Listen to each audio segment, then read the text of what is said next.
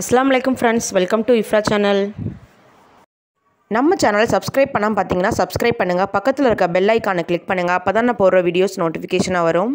இப்போ ஒரு குக்கரில் ஐம்பது கிராம் பாசிப்பருப்பு ஐம்பது கிராம் பருப்பை வந்து ரெண்டு மூணு தடவை நல்லா வாஷ் பண்ணிவிட்டு இப்போ இது வேகிற அளவுக்கு நம்ம வந்து தண்ணி சேர்த்துக்கலாம்.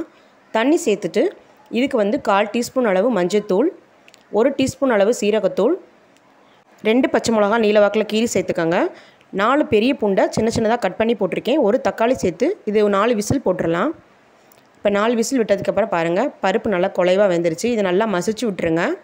இப்போ வந்து நம்ம தண்ணி சேர்த்துக்கலாம். தண்ணி சேர்த்து இதோட காய் சேர்க்க போகிறோம் ஒரு டம்ளர் அளவு தண்ணி ஊற்றிக்கிறேன் ஊற்றிட்டு நான் ஆல்ரெடி காய்கறிலாம் கட் பண்ணி வச்சுருந்தேன். இன்றைக்கி வந்து நான் என்ன காய் எடுத்திருக்கேன்னா கேரட் பீன்ஸ் முருங்கைக்காய் கத்திரிக்காய் வாழைக்காய் இந்த மாதிரி அஞ்சு விதமான காய்கள் எடுத்திருக்கேன். உங்களுக்கு என்ன காய் விருப்பமோ அதை நீங்கள் சேர்த்துக்கோங்க. இந்த காயெல்லாம் நல்லா வாஷ் பண்ணிவிட்டு சேர்த்துக்கோங்க. இப்போ வந்து இதுக்கு வந்து நான் ஆல்ரெடி லெமன் சைஸ் அளவு புளியை வந்து ஊற வச்சுருந்தேன். அதை கரைச்சி ஊற்றிக்கலாம் ரெண்டு டேபிள் ஸ்பூன் சாம்பார் தூள் இதுக்கு தேவையான அளவு உப்பு சேர்த்துட்டு நல்லா மிக்ஸ் பண்ணி விட்டுட்டு ஒரு விசில் மட்டும் விடுங்க. காய் வந்து சூப்பராக வெந்து வந்துடும் சட்டுன்னு செஞ்சிடலாம் நம்ம.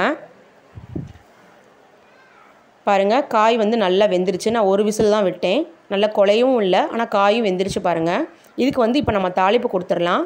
இப்போ வேறு ஒரு பாத்திரத்தில் மூணு டேபிள் ஸ்பூன் அளவு எண்ணெய் விட்டுருக்கேன். ஒரு டேபிள் ஸ்பூன் வெந்தயம் ஒரு டேபிள் ஸ்பூன் கடுகு உளுந்து ஒரு டேபிள் ஸ்பூன் அளவு சீரகம். இப்போ வந்து பெருங்காயம் சேர்த்துக்கிறேன். சேர்த்துட்டு ஒரு நாலஞ்சு சின்ன வெங்காயம் கட் பண்ணியிருந்தேன். அதோட கருகப்பில் மல்லியலை சேர்த்து தாளிச்சிக்கலாம். மல்லியலை சேர்த்துக்கோங்க சாம்பார் நல்லா வாசமாக இருக்கும்.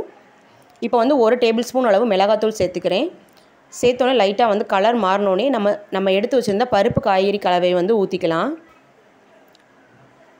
ஸோ பத்து நிமிஷம் மட்டும் கொதிக்கட்டும். சாம்பார் ரெடி ஆயிடுச்சு இந்த சைடு வந்து நான் வாழைப்பூ வடை செஞ்சுக்கிட்டு இருக்கேன்.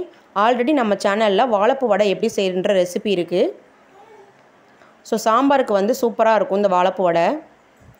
ஸோ இன்றைக்கி எங்கள் வீட்டில் சாம்பார் வாழைப்பூ வடை தான். ஸோ டேஸ்டியான அருமையான சாம்பார். ஒரே விசிலில் சட்டுன்னு செஞ்சிட்டோம். பாருங்கள் இந்த வீடியோ பிடிச்சிருந்தா லைக் பண்ணுங்கள் கமெண்ட் பண்ணுங்கள் இந்த வீடியோ உங்கள் ஃப்ரெண்ட்ஸ் எல்லாத்துக்கும் ஷேர் பண்ணுங்கள் அஸ்லாம் வலைக்கும்